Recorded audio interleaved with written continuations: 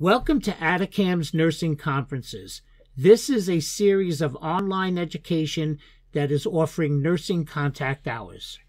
This online program has been approved for one contact hour. Atacam is an approved provider of continuing nursing education by the Pennsylvania State Nursing Association Approvers Unit. Atacam nursing contact hours are acceptable nationwide for licensure renewal. You will be required to complete a survey after watching the YouTube video. You must watch the YouTube video in its entirety and make sure you answer all the survey questions at the end because each of those questions count towards your total score. I wish you the best of luck. I would like to introduce myself. My name is Terrence Shenfield. I started my career on Wall Street and after 15 years decided to change careers and go back to school and I went into the field of respiratory therapy. I quickly became the education coordinator at University Hospital in Newark, New Jersey, and I have extensive experience in education. I am also an expert in critical care medicine for the pediatric, neonatal, and adult population. I started my own company, RT Lectures, to offer continuous education to respiratory therapists, and then I decided to create another company called Atacam, which would offer continuous education for nurses. I am a provider of nursing education from the Pennsylvania State Nursing Association, and I have spoke both nationally and internationally with my conferences. The title of this course is called What is the Endocannabinoid System and What is its Role? The endocannabinoid system is a collection of receptor sites throughout the body which directly influence all physiologic responses. This is the basis of understanding how medical cannabis works. These receptor sites influence very different mechanisms in the body. This lecture will talk all about the endocannabinoid system.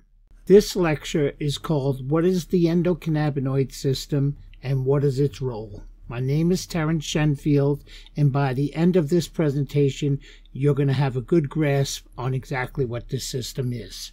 In my opinion, understanding how medical cannabis works, you need to have a good understanding of the ratios between THC and CBD. Many times they name these products Blue Dream, Purple Cindy, which I think offers a great disservice to the medical community. Because what's really important is to understand the ratio. And if you understand the ratio, you'll have a good understanding of what kind of diseases you could treat and certain symptoms that could be relieved by medical cannabis.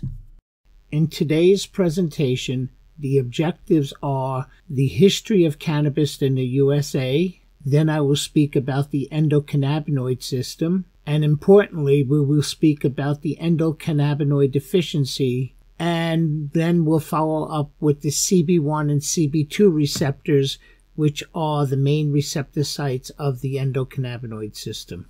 You cannot speak about medical cannabis without mentioning the name Dr. Raphael Mechoulam.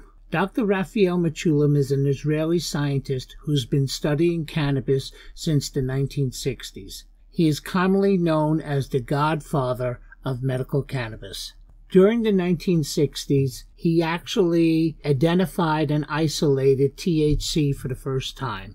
He did this for CBD as well. He also received the Nobel Prize for medical cannabis research and is one of the most renowned scientists in the world part of his research was that he identified the endocannabinoid system where the CB1 and CB2 receptors are located. The endocannabinoid system consists of both CB1 and CB2 receptors. The CB1 receptor are mostly part of the central nervous system, particularly in the cortex, basal ganglia, hippocampus, and cerebellum. The majority of the CB1 receptors are present at the axon terminals. The CB2 receptors, on the contrary, are located throughout the immune system and related organs. They are located at the peripheral nervous system and can be found on the spleen, tonsils, thymus glands, and they are also in certain parts of the brain, but not as much as the CB1 receptors. The CB2 receptors are mostly found in greater concentrations through the GI system, where they modulate intestinal inflammatory responses. That is why cannabis works so well with Crohn's disease and irritable bowel syndrome. The purpose of the endocannabinoid system is to maintain homeostasis in the human body. The endocannabinoid system is not just exclusive to humans, it is located in all mammals on this planet. The reason medical cannabis works on so many different disorders is because of the molecular shape of the cannabis molecule. The THC molecule and the CBD molecule looks just like our natural endogenous cannabinoids called anandamide and 2-AG. Our bodies produce two hormones or chemicals. One is called anandamide and the other one is called 2-AG. The molecular shape of these molecules are exactly the same as the cannabis molecule. These two hormones attach to the receptor sites throughout our body, the CB1 and the CB2 receptors and elicit their response. Sometimes our bodies don't produce enough of these natural hormones, and as a result of that, we have what is known as the endocannabinoid deficiency. But medical cannabis has come to the rescue as they have the same exact molecular shape and they fit very well into these receptor sites and they elicit certain responses. At the same time, our bodies produce enzymes that degrade anandamide and 2-AG, and sometimes this could cause problems. So the point of the endocannabinoid system is this. Our bodies produce these two hormones, anandamide and 2-AG, and cannabis has the same molecular shape as these two hormones, and that's why it elicits such a response on the CB1 and CB2 receptor sites. Endocannabinoid deficiency is a clinical spectrum disorder which has been implicated for a number of illnesses, including fibromyalgia, migraine headaches, and irritable bowel syndrome. The reason for this is that our bodies produce two natural endogenous cannabinoids, anandamide and 2-AG. When our bodies don't produce enough of these natural cannabinoids, we have deficiency. Just the way if you have diabetes, you have a deficiency in producing insulin and you need external insulin. That is why cannabis has been shown to work for a lot of chronic disorders, especially when you consider it as an endocannabinoid deficiency. I would like to talk about the background and history of medical cannabis. The cannabis plant has been in use for over 8,000 years. China was the first country to sort of use this product for both fabric and ropes, and they also used it for fishing nets. The medicinal use of cannabis in China was used for both rheumatism, gout, and other disorders, and mostly inflammatory disorders. There is evidence that in India around 2000 BC that cannabis was used both in religious ceremonies and as well as medical conditions. Again, most of the use for cannabis at that time was for inflammatory disorders. The hashish was first introduced in the Arab world, where they processed the flower of the cannabis plant and they extracted a very concentrated form of cannabis. Western society started using cannabis for medicinal remedies back in the 1850s. What they would do is they would create some extracts and offer for a variety of medical conditions. Actually, the U.S. Pharmacopoeia used medical cannabis as one of their products.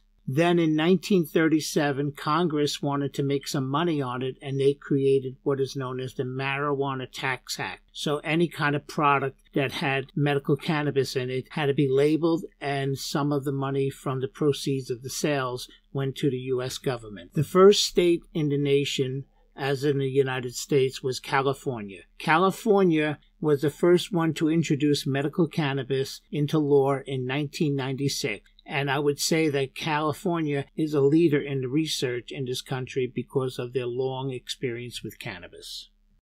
During the 1600s to the 1890s, hemp production was encouraged in the United States. The American production of hemp was encouraged by the government in the 17th century in order to produce rope, sails, and clothing. In 1619, the Virginia Assembly passed legislation requiring every farmer to grow hemp. Hemp was allowed to be exchanged as a legal tender in Pennsylvania, Virginia, and Maryland.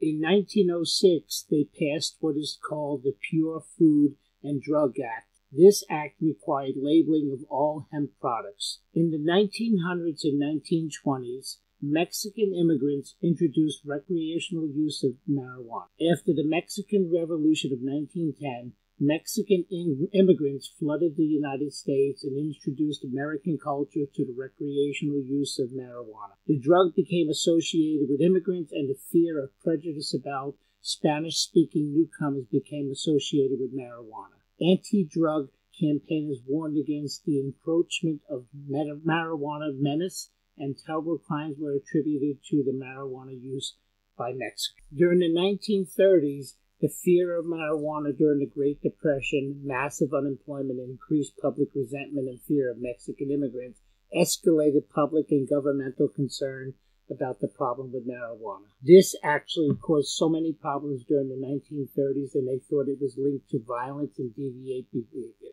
In the 1930s, Harry J. Anslinger was the first commissioner of the FBN and remained in that post since till 1962. He created what is known as the Federal Bureau of Narcotics.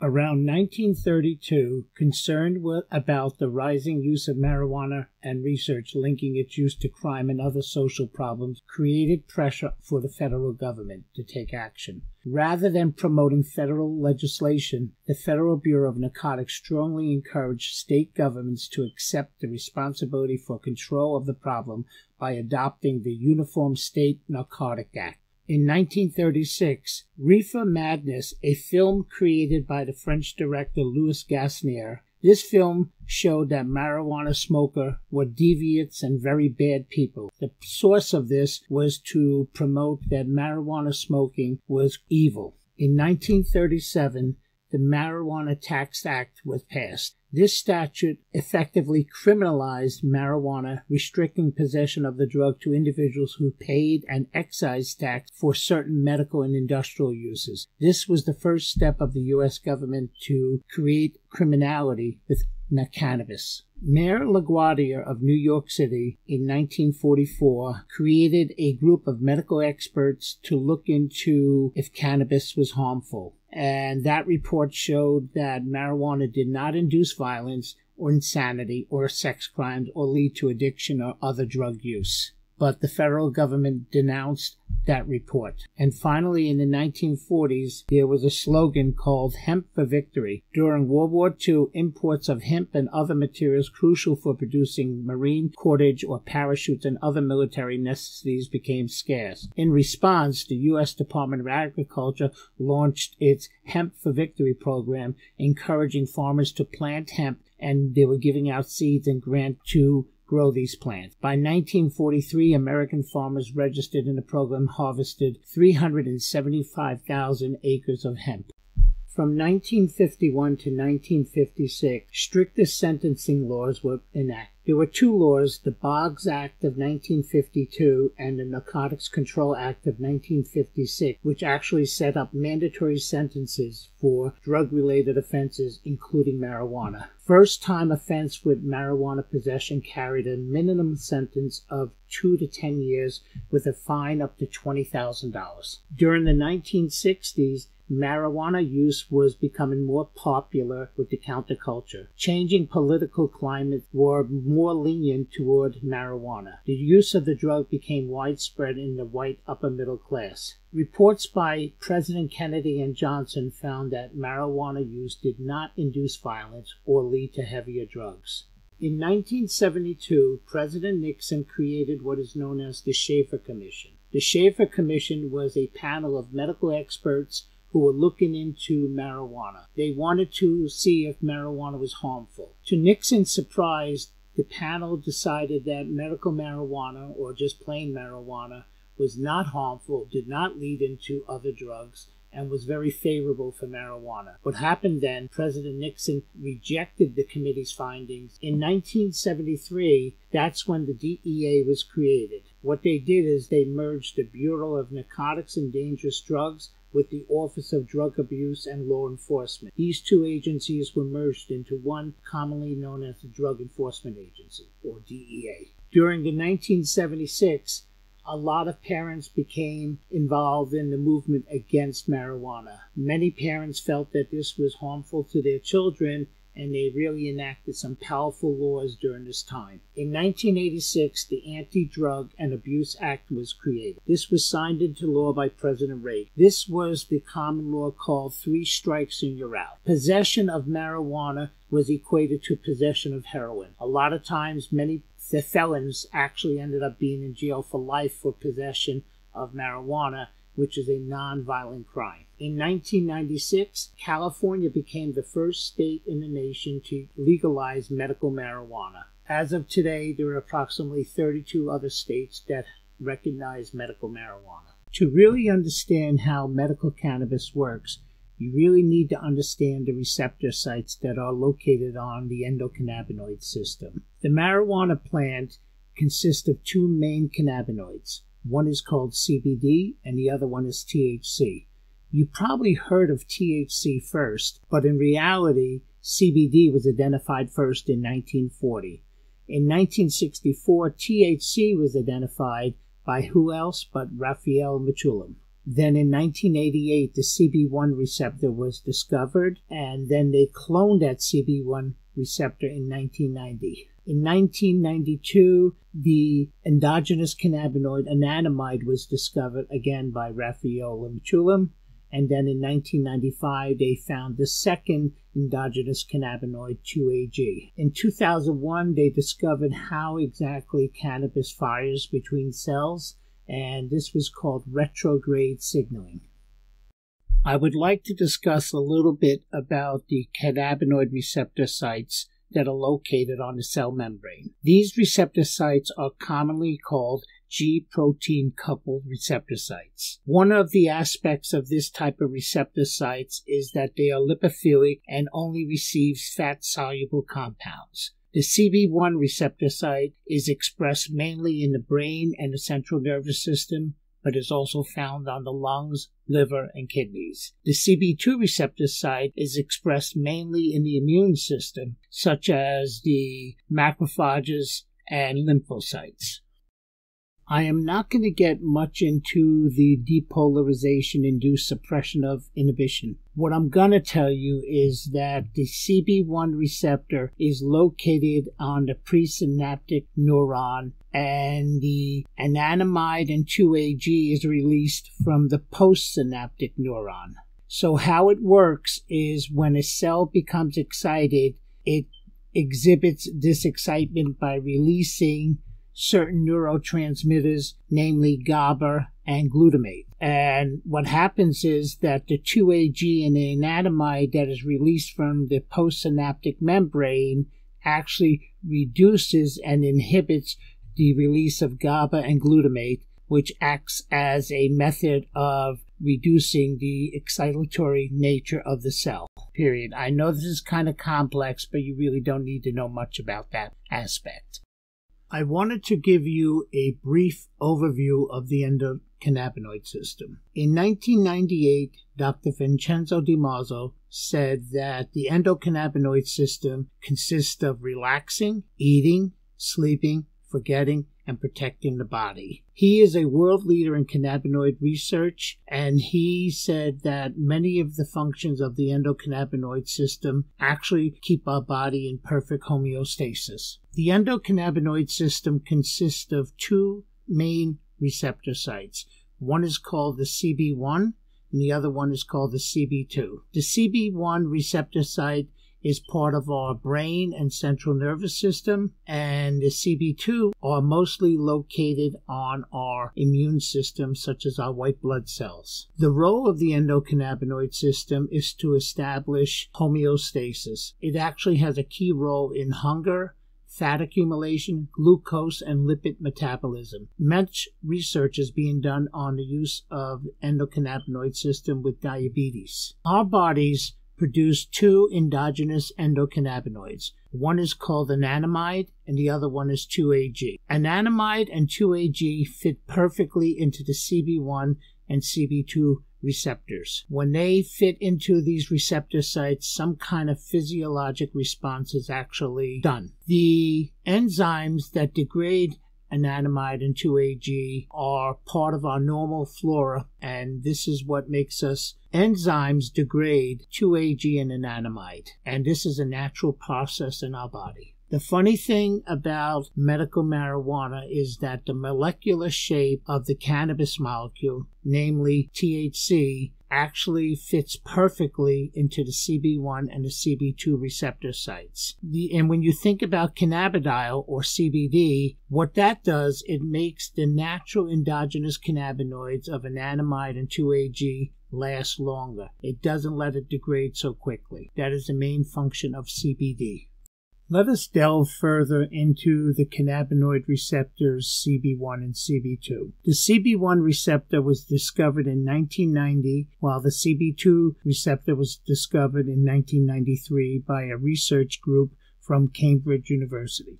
The cannabinoid THC has been shown to possess very high affinity for the CB1 receptor that is located throughout the brain, the central nervous system, and connective tissue. This is one reason why the consumption of cannabis with high amounts of THC results in relatively a potent effect. It actually relieves pain, nausea, and depression while giving some people a strong euphoric feeling. Another benefit of THC that has been shown to improve patients who are suffering from inflammatory disorders such as arthritis and lupus. The CB2 receptors are located mainly through the immune system and related organs such as the spleen, tonsils, and thymus gland. There is a great concentration of CB2 receptor sites in the GI tract where they modulate intestinal inflammatory response. Many patients who suffer from Crohn's disease or irritable bowel syndrome benefit from cannabis medicine because of the high affinity for the CB2 receptor sites in the GI tract.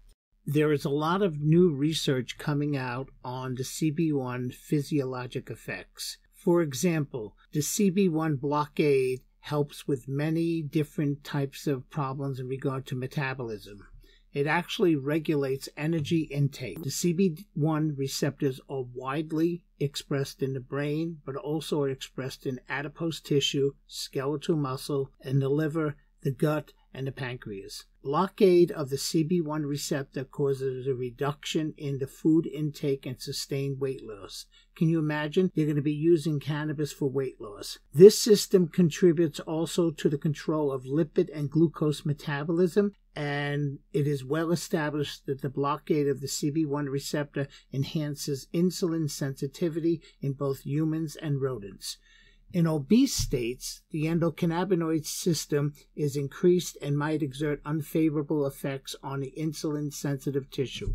There is also research going on on the use of cannabis, especially in THC, in pain relief. Blockade of the CB1 receptors actually induces a norepinephrine release in central, spinal, and peripheral sites. Actually, the cannabinoid receptor agonist diminishes responsible to pain stimuli. In other words, the CB1 receptor has a lot to do with pain stimulus, and blockade of it actually reduces pain. Because the CB1 receptor sites are mostly located in the brain, because the CB1 receptor is located mostly in the brain, motor control, memory, and learning can all be impacted by this. They have done some studies where people were driving and they tested them before and after the use of cannabis.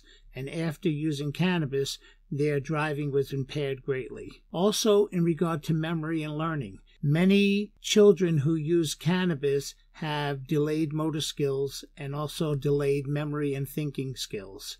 And this has been a real problem. In regard to immunity in regard to immunity and inflammatory responses, the CB1 receptor has been known to decrease inflammation in the body. It is also neuroprotective as the cannabis molecule is a great antioxidant and it's been shown to improve the glial cells in the brain. I want to talk about the CB1 receptors in the brain.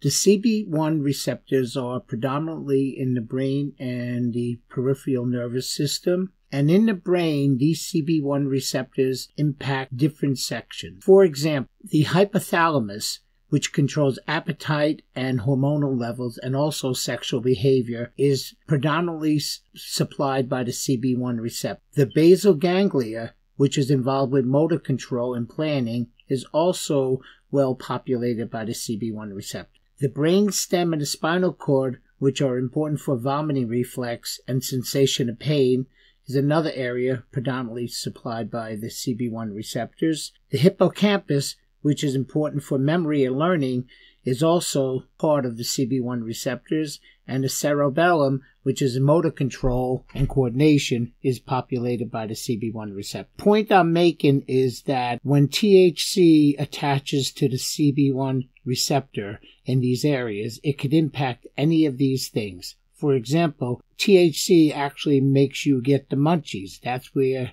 you get control with your appetite. And secondly, the CB1 receptors and THC impact your motor skills and coordination and your hippocampus, which is part of your memory and learning.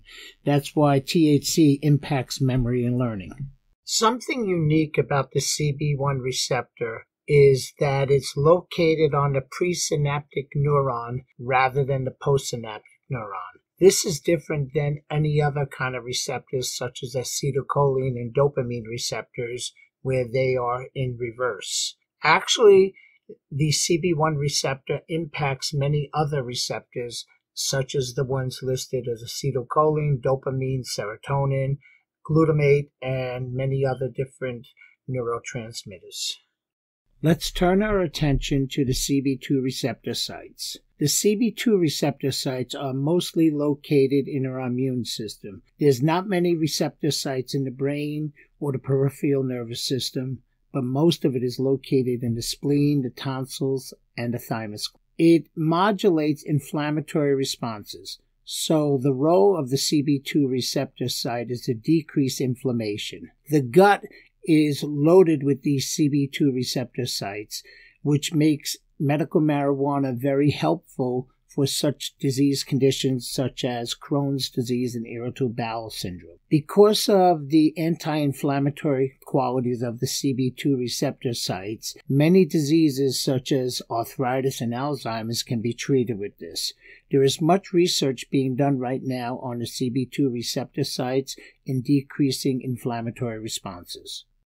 There is a lot of research currently being done on the CB2 receptors, especially in regard to pain modulation. The CB2 receptor inhibits nociception types of pain in the body. It also appears to modulate acute pain and post surgical pain.